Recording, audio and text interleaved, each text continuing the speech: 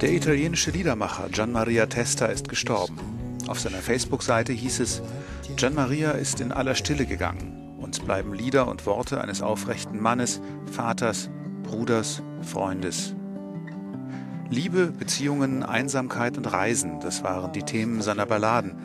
Über den Umweg Frankreich wurde er zu einem der wichtigsten Liedermacher Italiens und blieb doch lange Bahnhofsvorsteher im piemontesischen Cuneo.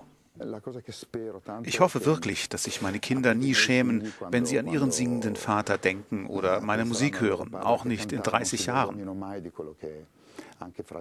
Es wäre einfach schön, wenn meine Musik einfach bleiben könnte.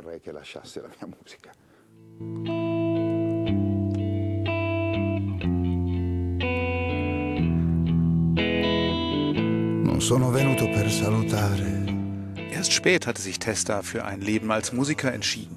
Er tat sich schwer mit der Musikbranche. Vergangenes Jahr hatte er bekannt gegeben, an einem Tumor zu leiden. Testa wurde 57 Jahre alt.